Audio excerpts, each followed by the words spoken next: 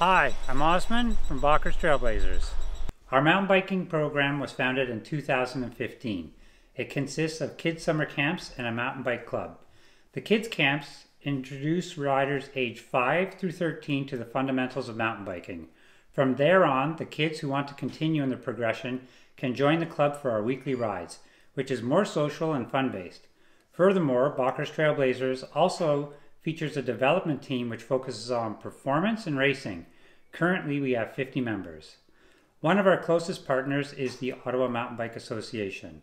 OMBA has been the regional driving force when it comes to trail creation and maintenance.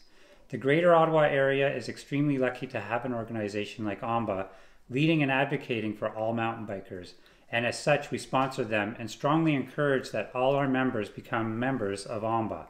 Aside from financial support, and advocacy we do for OMBA, the Bakkers Trailblazers team also support OMBA in trail maintenance and development during the summer.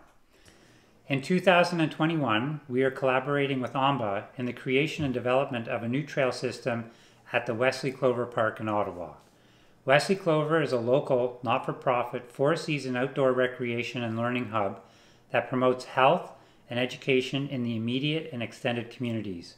They firmly believe in providing residents of Ottawa to benefit from outdoor recreation, connect with nature, and provide infrastructure for sports training.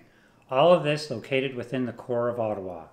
With this Wesley Clover partnership, we will create a mountain biking destination center for the general public as well as a high performance program.